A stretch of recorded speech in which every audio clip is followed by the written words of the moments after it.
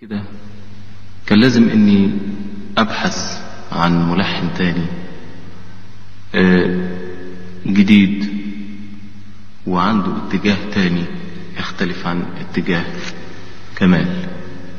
آه، لأن أنا عارف إن كمال آه، موسوس في ألحانه وقلق بالنسبة لأي عمل بيعمله خصوصا إذا كان عمل فني. وغنيت لكل الملحنين تقريبا اللي كانوا بيلحنوا في الإذاعة.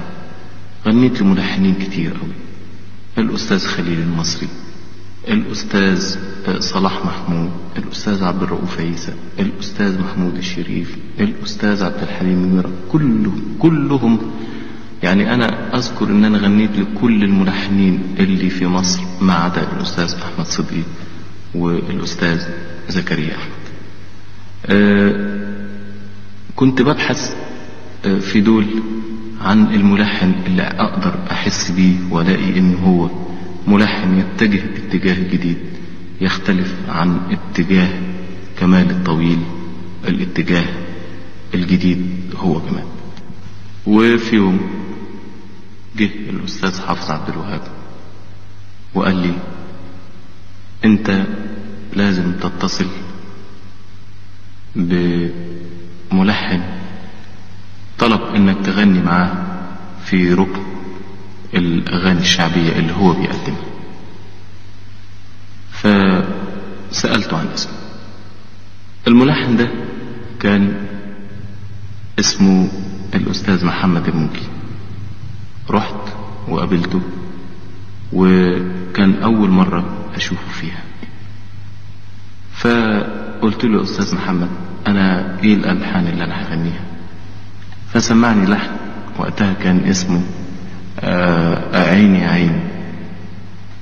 فحسيت وإن كان اللحن ما هواش قوي قوي إنما حسيت إنه الملحن ده مش ممكن يكون آه بس ده تلحين فقلت له يا أستاذ محمد أنت ما عندكش ألحان تانية؟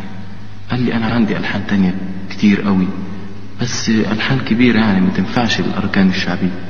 قلت له طيب ما لو سمحت تسمعها لي وبعدين سمعني أغنية اسمها صفيني مرة وسمعني أغنية اسمها بتقول لي بكرة وسمعني أغنية اسمها ظالم.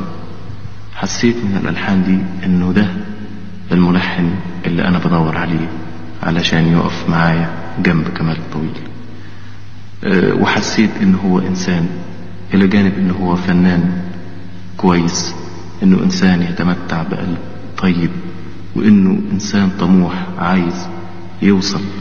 ونشأت بيني وبين محمد الموجي صداقة كبيرة زي اللي نشأت بيني وبين كمال الطويل. و...